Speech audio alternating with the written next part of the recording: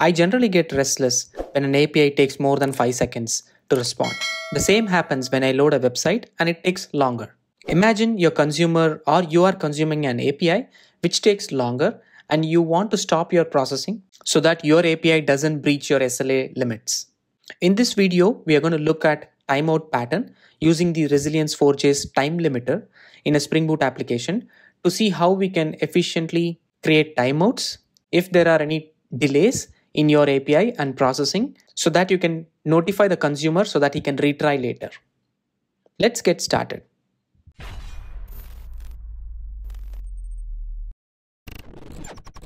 Imagine I have an application called activity service. I want to request an activity from this particular service. So I will be calling an API called slash activity. And this is connecting to an API, let's say in this case, Bored API, right? So Bored API just returns a random activity. We would have seen the same example in the Resilience 4J. I'm using the same example here. So when I call this activity API, my application is going to go to the Bored API and then it is going to respond my a caller with a response. I will be sending a HTTP 200 OK with the corresponding activity which I got from the Bored API. This is a success or a happy path scenario. Now what happens if let's say the Bored API is taking longer? Imagine it's taking more than two seconds. I know that the Bored API shouldn't be taking more than two seconds. And my SLA agreement with the caller is two seconds. And I'm going to stop my processing. So I'm going to respond back to my caller with a 408 timeout exception. So 408 is a response code in the HTTP status for timeouts. So let's see how we can implement this in the Spring Boot application using Resilience 4J. As usual, I'm in the start.spring.io. I'll be using a Maven project uh, with 3.2.5 version of Spring Boot. I want to add uh, the dependency for web because I'm exposing some endpoints. I'll call my project as time limiter example. The group is going to be com tech primers. I'll be using Java 17 and I'm packaging it as a jar. Let me generate this. I'll be adding the Resilience 4J dependency in the POM directly. Let me open the project in IntelliJ.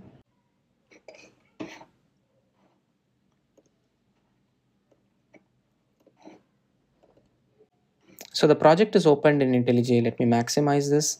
I have my time limiter example.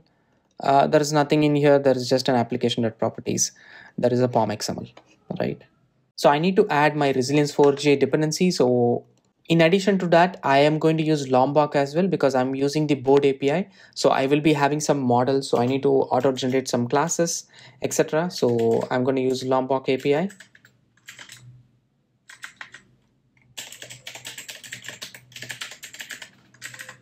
and I'm going to add the dependency for AOP and Resilience 4J because Resilience 4J requires AOP um, because that's how Resilience 4J intercepts the requests and things like that. So we need to add Spring Boot starter AOP and I have added the Resilience 4J dependency for the Spring Boot 2.0.2. So this has all the uh, Resilience 4J libraries embedded in it. So I'm just using that for simplicity. Now coming to the application itself, uh, we need to add the activity classes. So I'm going to create a resource uh, dot activity. So I want to create an activity class. Um, actually, I want to call this an activity resource.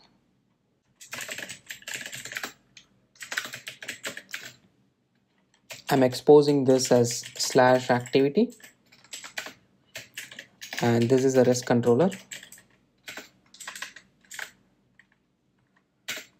So I would require a REST template because I'm going to call the Bored API. So I will just call this private REST template and REST template. And let me add the constructor parameter with the REST template. I'll also inject the REST template um, in my boot up time. So let me add it as a bean to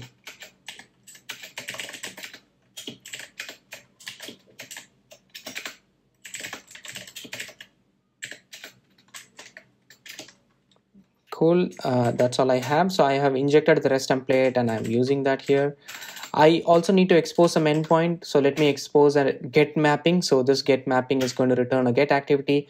Notice that Codeium is uh, giving me everything. In fact, it's giving me the endpoint for the uh, REST API as well. So it knew that I'm going to use the Bored API. Um, uh, so Codeium is, if you don't know what is Codeium, Codeium is an extension. Take a look at my video on Codeium, uh, which I made few days ago. So I'm going to use this particular API to get some response and it is responding as a string, which is great. And let's see if it works. Let me start this project. I'm not doing anything here. I'm just creating a blind uh, application with slash activity. Let's see what happens. Uh, I'm going to start this application just to see if it works. Then later we can add the timeouts.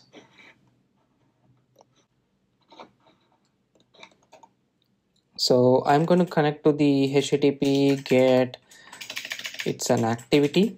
So this should return me a random activity uh, based on the response what we get from the um, API looks like okay uninstall unused apps in the okay so this is returning the whole JSON because I uh, gave it as a string here. So obviously Codeium is not doing its job. So I'm going to return uh, an activity class. I'm going to create an activity class based on the fields what I have here so this could be a model. I will create this as a model.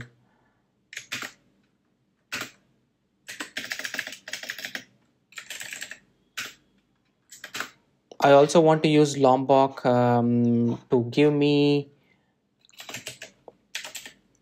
the noargs constructor. I want the allargs constructor and also this is a data object and I also want to have builder. I don't know if I will use it but uh, let me ask for it so I'm going to add uh, the activity which we want and uh, I also would be adding type, participants, price, link, key, accessibility.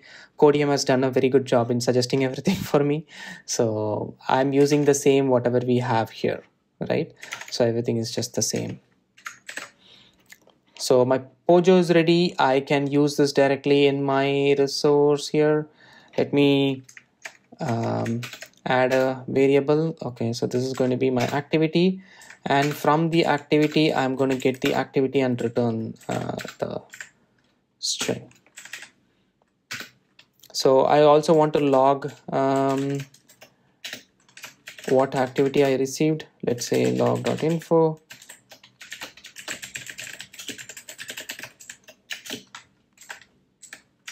since I've enabled uh, Lombok, I can use the SLF4J um, to annotate and it can use the corresponding logging mechanism. So let me restart this application. So I should at least get the exact um, activity which I want or which is like random. Let's see uh, how this responds okay so we got a 200 http okay and we got a activity saying start a webinar on a topic of your choice. Yeah this itself is a video. Yeah that's an activity. Um, so Bored api suggested to uh, start a webinar on your of a topic on your choice so now our application is good. So this is the happy path which we talked about. We have a happy path. Now what happens if this particular API returns a timeout, right? Now how do we handle it? Generally what we do, we add a controller advice. Um, so generally, uh, for example, um, I generally add an API exception handler so this API exception handler can be annotated with a controller advice. So controller advice is a annotation using which Spring Boot can uh, intercept your request when there is an exception which is happening in your application. So what I'm going to do is I'm going to catch the um, exception, the timeout exception which our application is going to raise and I'm going to respond it with a um, 408, right? So I'm going to handle timeout exception. And I can do a lot of processing here so I'm going to say um, I'm just going to print out received timeout handler and how do I uh, map that this method should be called for the timeout? I can add an exception handler. In the exception handler I can define different exceptions so I'm going to define so I'm going to define the timeout exception which we are going to get here. in addition to it i also wanted to respond with a 408 so there is a nice annotation which you can use uh, called as response status. So this is again a good annotation which we can use for um, returning. So let's understand what is the 408 so 408 um, is translated to request timeout. So we can use the request timeout to be returned here. Done. So this will now respond uh, if there is a timeout exception this particular controller advice now will respond with a 408 um, exception. Now how do i make a timeout timeout uh, which is going to happen here? So i'm going to wrap this method into a smaller method so that i can um, create a, a thread.sleep or something and then i can use it so let me wrap this into a method called a slow method.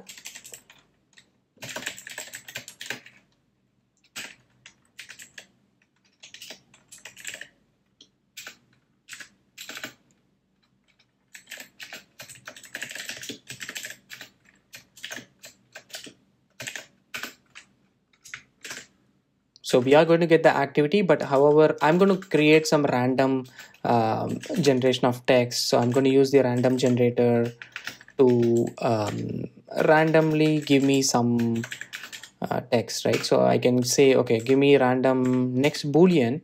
So based on which i'm going to randomly generate uh, my uh, sleep right? So here what i will do is i'll add a log to say sleeping for three seconds I'm going to sleep for three seconds and you see Codeium is doing its magic. So it's automatically suggesting me this code and I just added a tab and then it's automatically doing it, which is amazing. That's the power of Codeium plugin. So feel free to use it. Uh, it's crazy. It's pretty amazing. The next thing what I'm doing here is I am calling the uh, the rest template. Uh, if let's say the sleep um, did not go through, then I'm just returning the response back. So randomly this particular text will be called. Otherwise, I'm just going to the Bored API and responding. That way I'm simulating a, um, a slow call to the Bored API. I know Bored API is not going to fail, so I'm going to do that. What I will do is I'll just um, wrap this into a slow method. So I'm having the slow method here. I cannot directly call the slow method uh, and then make it fail. Instead, what I would do is I would wrap this into a completable future because that is how we can wrap the time limiter into a completable future. So that way we know these are asynchronous because you cannot catch it on a synchronous uh, thread right? Because a synchronous thread is going on and how do you intercept it right? So that's why we are going to wrap this whole slow method into a completable future and we are going to give it um, to the uh, the limiter the time limiter. So i'm going to create a completable future of string because I'm going to return a string.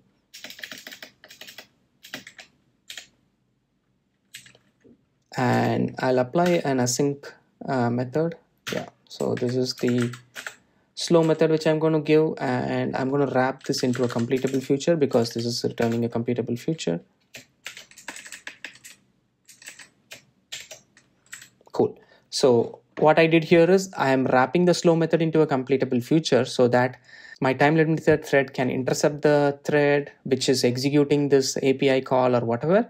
And even if that is getting delayed, I will have another thread to respond back, right? So that's why I'm using the completable future. So I can stop the completable future whenever I want, or maybe I can just break the existing flow and then go back to the main flow, right?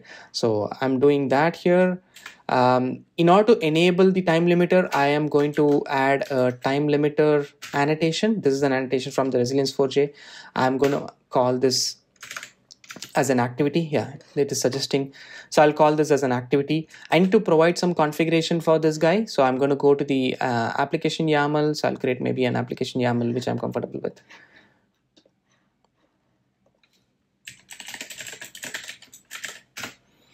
So I have an application YAML. So in the application YAML, I'm going to add all the configurations which I require.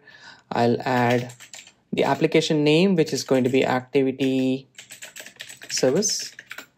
I already had something here. I'll delete this particular file. Cool. And I need to have the Resilience 4J um, time limiter config. So if you see here, this is automatically suggesting, right? So I want to add some default uh, configuration. I want to add some configs. So I want to add a default configuration of two seconds. I'm not going to add five seconds. And also I want to cancel my uh, future which was running, right? So I want to cancel my completable future so I can control that uh, here. And I can also provide uh, different instances. So here I created an instance called activity.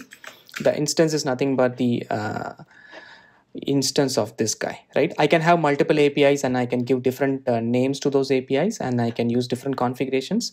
But uh, here i'm just using a simple default one right? And i'm giving uh, the activity one and i'm giving a base config as default. So it will use the same configuration what i have defined here as a base. So that's all i wanted. Um, i think i have the configurations done. I have my resources ready. Um, i have my exception handler done. I think we are ready for going to demo this. Let's see what happens. I'm hitting the same activity api uh, notice that i got a 200 response. Um, again i'm getting a 200 response. Again the apis are responding much faster. That's why. Um, let's hope for the best uh, to see if let's say randomly. So notice here now my activity is returning a 408 right? Um, and if you see here connection got closed.